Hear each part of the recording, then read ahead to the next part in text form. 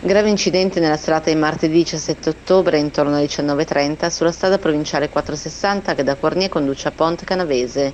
A scontrarsi una monovolume Volkswagen Charan e un camion Iveco Tracker da cava che trainava una piccola draga.